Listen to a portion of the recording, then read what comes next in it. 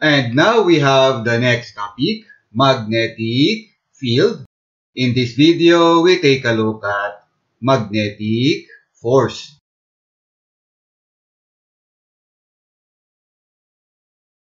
We are all familiar with what a magnet is.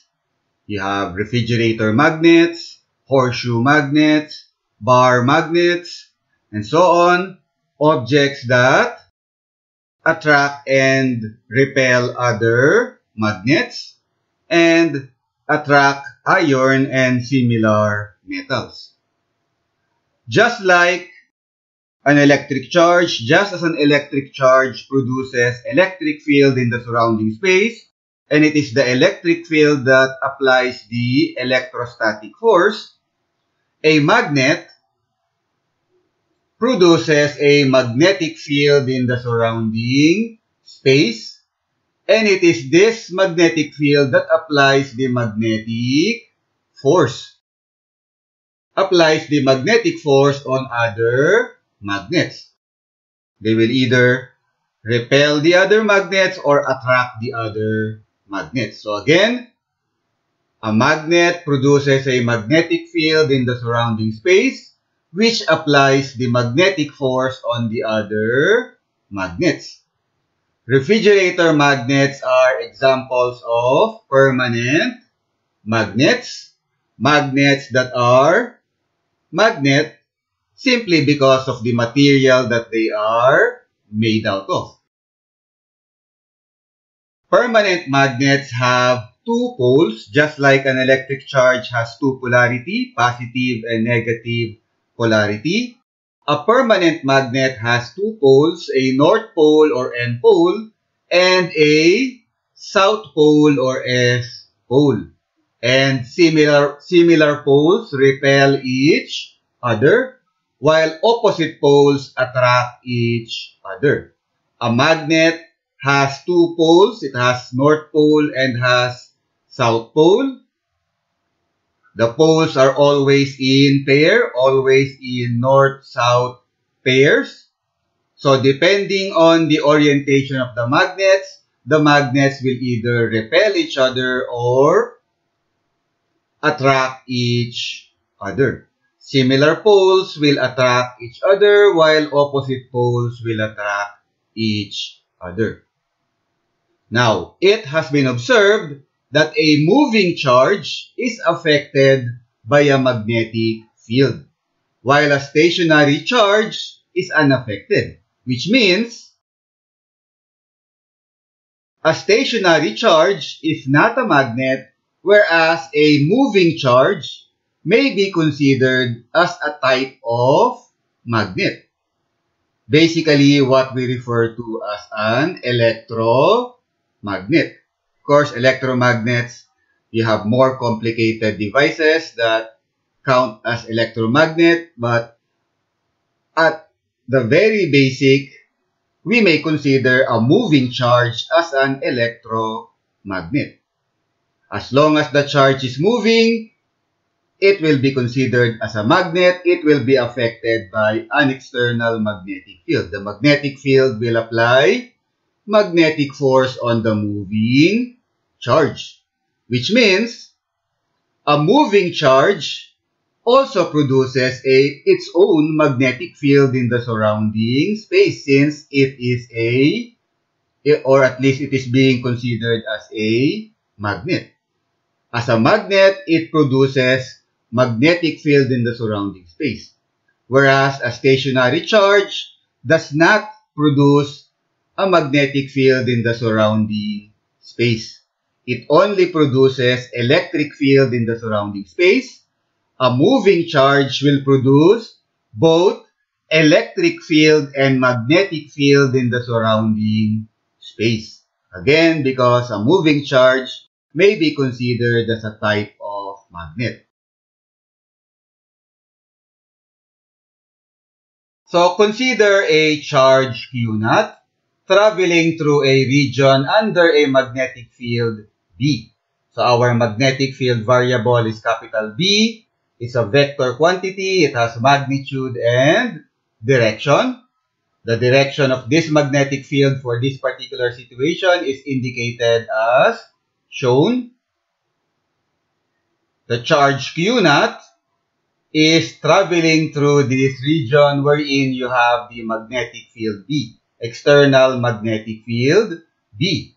Q naught is traveling with velocity V. The angle between V and the external magnetic field, the angle between them is angle phi. Since you have a moving charge, you have a magnet. The magnetic field B will apply force on the moving charge Q naught. The force applied by the magnetic field on the moving charge is given by F is equal to Q naught V cross B cross product or vector product. So please review in your vector analysis or vector algebra, please review vector product or cross product. Cross product is vector multiplication, multiplying two vectors together, and the answer is a vector quantity. F is equal to Q naught V cross B. B is the external magnetic field, as already mentioned.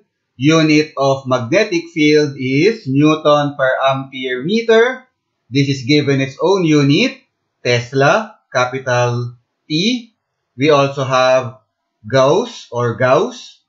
1 Gauss is 1 times 10 to the negative 4 Tesla. F is the force applied by the magnetic field on charge Q naught. V, of course, is the velocity of the charge Q naught. Again, please review cross product or vector product in your vector analysis. Suffice it to say that vector product will give you the following magnitude for the magnetic force. F is equal to absolute value of Q naught, magnitude of V times magnitude of B times sine of the angle between V and B, sine of angle phi. Q naught is inside absolute value because we're talking about magnitude of the vector, magnitude of force, and magnitude should always be positive. And since charge may be negative or positive, to get rid of any negative sign, we put the charge Q naught inside the absolute value. Magnitude of force is equal to absolute value of Q naught times magnitude of V times magnitude of B times sine of angle phi. For the direction of the magnetic force, use your right hand rule. Again, use right hand rule for the direction of the magnetic force, right hand rule of cross product. So again, I can't state that enough. Please review your vector product or cross product in your vector analysis. Right hand rule, put simply, take your right hand. Your thumb represents the first vector. In the multiplication, the first vector is the velocity. So take the thumb of your right hand, align it with the velocity v, and the rest of your fingers, align it with the direction of the magnetic field B, the second vector. So thumb, rest of your fingers, the direction of your palm, the palm of your right hand, will be the direction of the magnetic force. Right hand rule. When applying the right hand rule for this equation, F is equal to Q naught V cross B, bear in mind that the vector product F should be perpendicular to the two vectors that we are multiplying. So in applying the right hand rule, bear in mind that the magnetic force should be perpendicular to the velocity of the charge and perpendicular to the external magnetic field. A constant magnetic field is one that has constant magnitude and constant direction. Doesn't matter where you look inside the magnetic field, you'll find the same magnitude and direction. A constant magnetic field is referred to as uniform magnetic field. Suppose we have a uniform magnetic field, and this magnetic field is perpendicular to the velocity of the charge. This will cause the charge to move in a uniform circular motion. So let the magnetic field be constant. Let B be a uniform magnetic field. And say for the sake of our discussion, let the magnetic field be heading into the board or into the screen. And the charge Q naught with mass M, the charge Q naught is moving along the plane of the board or plane of the screen. As such, the velocity is perpendicular to the magnetic field. The magnetic field will apply a force on the moving charge, this force will cause the charge to move in a circular motion.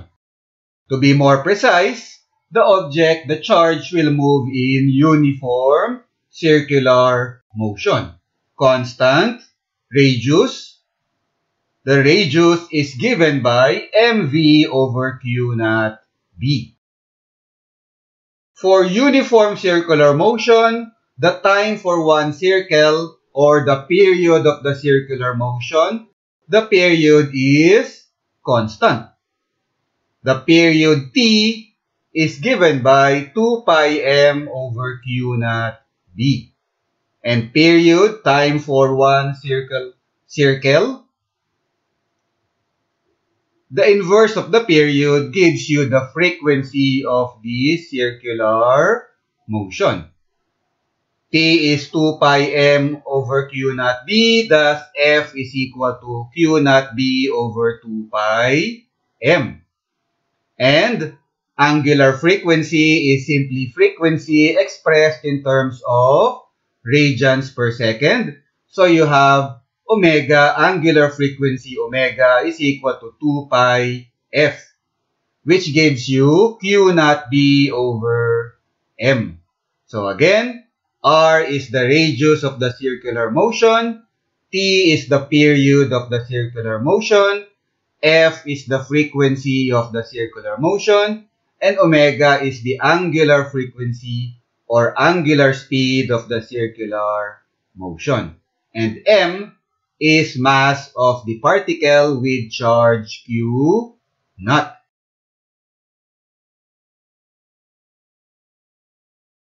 If we are to add a component to the velocity of the charged particle that is parallel to the magnetic field, the charge will move in a helical path. Say, we give the charged particle a push into the board, a direction that is parallel to the direction of the magnetic field. We are giving the charged particle a component a velocity component that is parallel to the direction of the magnetic field. As such, the charged particle will not only move in a circular motion, it will move in a circular motion at the same time moving into the board. The charged particle will move in a helical motion. If seen from the side view, instead of the charged particle just moving in a circular motion as such, the charged particle will also move forward. The charged particle will move in a helical motion. The charged particle will take on a helical path. This concept of a charge undergoing circular motion in a magnetic field, in particular in a uniform magnetic field, has been used in cyclotrons and synchrotrons, what we may refer to as particle accelerators. So if you are interested in looking up one application of a charged particle undergoing circular motion in a magnetic field, you may look up the concepts of cyclotrons and synchrotrons or particle accelerators. And that's it for now. That's it for our discussion on the magnetic force. We'll continue our discussion on magnetic field in the next video. In the next video, we'll take a look at the concept of the current carrying conductor. So again, that's it for now. Thank you for watching.